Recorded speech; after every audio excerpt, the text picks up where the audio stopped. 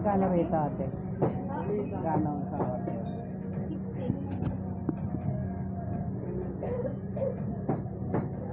60. Ano to ate? Ano yan? Minodo. Minudo. Sige, isa yan. Yung isa ano yan? Yan, ano yan? Adobo ba yan?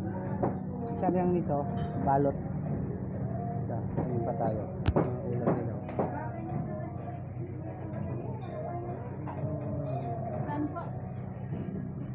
Isa nito, gantingin pa tayo. Kaya sa bote ah. Baboy. Tapos, o sige na lang, adobo. Tingin sa bawah. Isang order yan.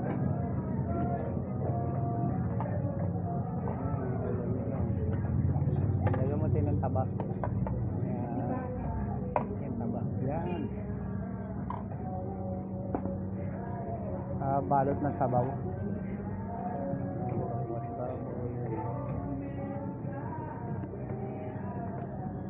Daming ulam. Pakuan baboy, sila. Ano ang tawag dito? Sisig ba yan? Dinakdakan. Ah, dinakdakan. Ayan ba dinakdakan?